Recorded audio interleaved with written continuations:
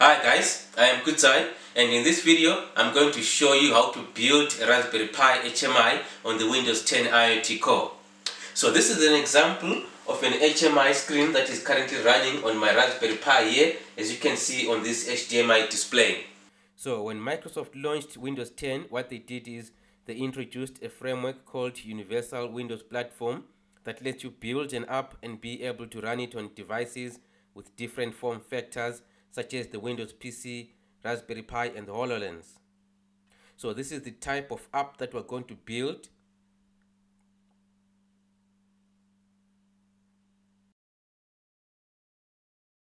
So when your project has been successfully created, you go to your Solution Explorer and select main page.xaml, which is the page that loads by default when starting your app. So here you can see that on the upper part here you've got your design canvas for placing your controls. You can adjust resolution by selecting from a list of standard device resolutions. And then you can also choose uh, your orientation. And then you can also zoom in your design.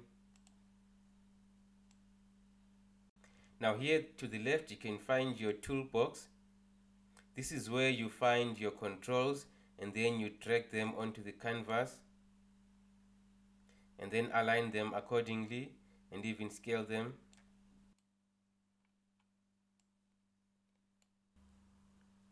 And then at the bottom here is your XAML code section.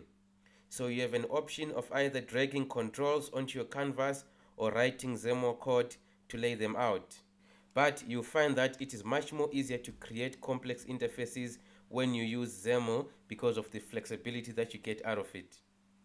You can even mix the two as you have seen because whatever change you make on one side reflect on the other. Okay, so I'll just change the button text, assign a name to my text block,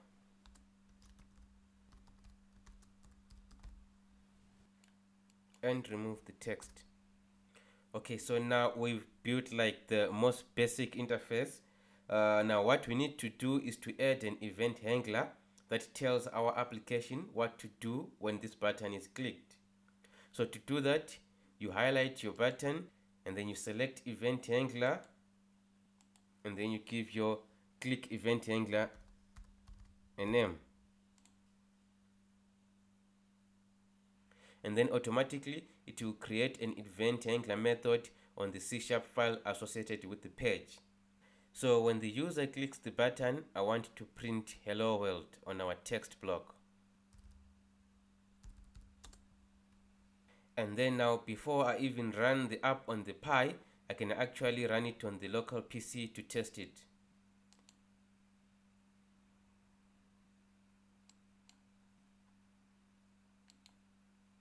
And there we've got our hello world.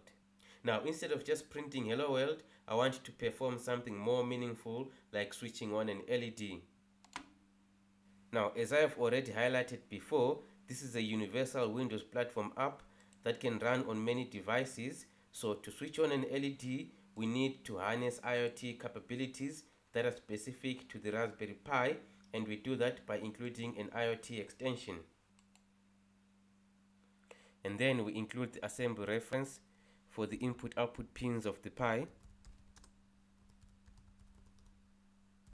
and then I'm going to connect my LED on GPIO pin number 18 of the Pi and then declare GPIO pin. And then on initialization of this page I'll add this code which is a controller that allows me to control the pins of the Pi so I'll open the pin at number 18 and then I'll set it as an output. Okay, so when the user clicks on the button, I want to switch on my LED by writing a GPIO pin value of 1 to the pin. Okay, so my code is ready. Now I need to deploy this to the Raspberry Pi, so I'll use my IoT Core dashboard to check the IP address. Then I'll select ARM processor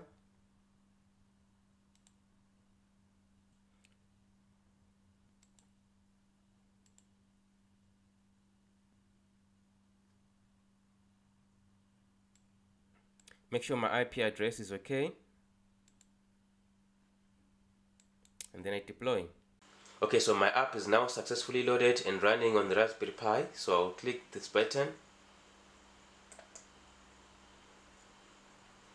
And there your LED goes on.